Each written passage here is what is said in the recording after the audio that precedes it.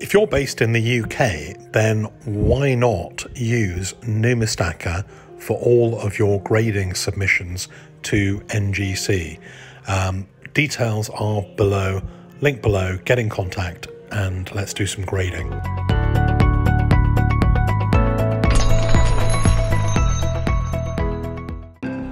Hey guys, welcome back to another dose of Numistacker and the special code for the month of August 2021 is Roland.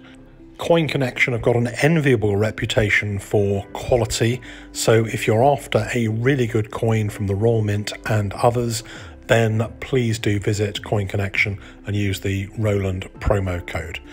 The coin that I'm going to show you guys here is a very special coin. In fact, this video is chock a block with very special coins. So please do hang on and watch right through to the very end. If you haven't subscribed, please do hammer down on the subscribe button so that uh, you can make sure that you see each Numistacker video when it comes out. This coin is a very, very special coin, only produced from 1642 to 1646 in the troubled regime or reign of Charles I. This one is a half a pound, so it's a 10 shillings worth of silver coin. It has a, a very interesting declaration on the back, which is a kind of abridged version of a larger declaration.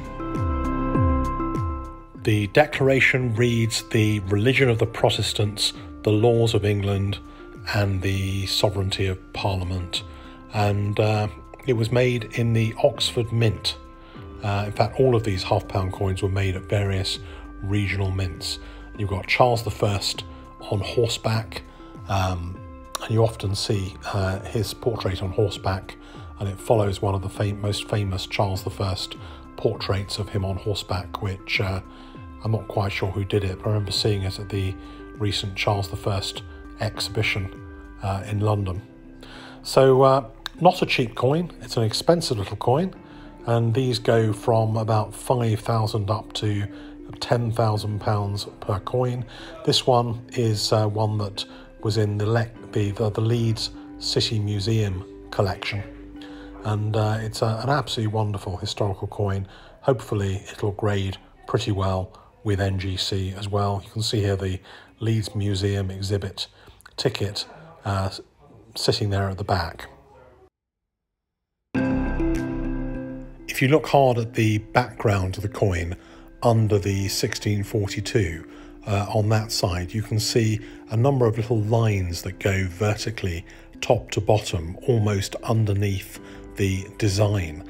And those little lines are adjustment marks. So they, they were done actually to the blank, to the planchet, before the coin was minted to adjust the weight of the coin to become a standardized weight. Um, interesting coin, really, really beautiful historical coin, and it's great to be able to show you this coin uh, here uh, and to have it being submitted to NGC for grading. So, moving on, a Nepalese gold coin, an Ashrafi Tola. And uh, although I personally do not understand the writing that is on this coin, uh, maybe some of you guys do understand this a little bit better than me. I just think it's a, a really good example uh, of uh, one of these coins, not one that I've seen submitted for grading before at all. What I can tell you is it's three nines fine gold and it weighs in at 11.66 grams of gold. So let's take a look at another one. This one is a coin minted in 1825 and it's a German states Hanover uh, 10 thaler gold coin. It has a gold content of about 13 or so grams of gold. And uh, I mean, it's one that is very similar to some of our British sovereigns at the time.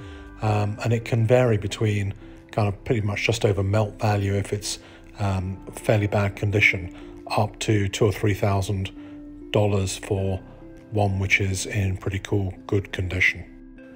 The next coin that I want to show you is another one that arrived for submission to NGC for one of my customers. Uh, and this coin came from milled and hammered coins, but you can see here by the number of tickets that came with it, it's a coin with a pretty illustrious history.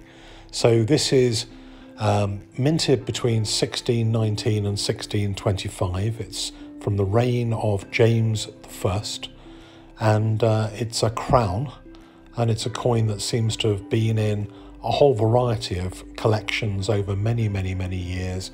Lots of different cabinets. You can see each one of these little round tickets is from uh, a tray in a cabinet, and uh, it's gone up during that time. I think the earliest ticket gives it a value of £175, and the latest ticket gives it a value of something like seven and a half, eight thousand pounds, which really just goes to show, you know, what um, you know quality British coins uh, have done over the last 40, 50 years.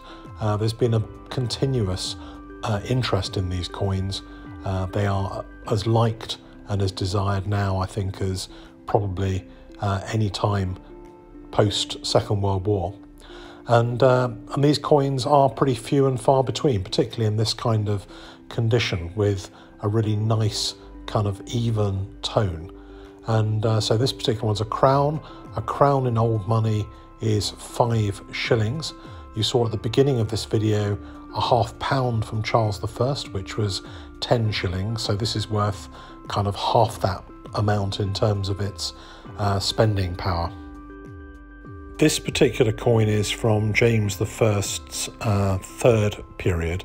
The first period was really the start of his reign, James VI of Scotland, and then the second period he uh, changed his title to have Kings of England on uh, on his coinage, and the England, Scotland, France, and his other kingdoms became uh, more important.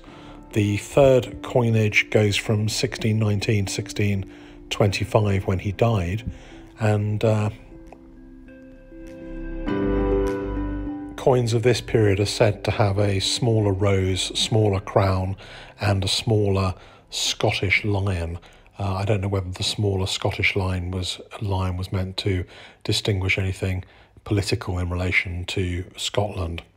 But there you have it, some interesting coins from the Numistacker channel. Hopefully I'll be able to bring you more. If you want to encourage me to make more videos, then please do hit the subscribe button, like the video, and comment a lot and let me know what you guys think.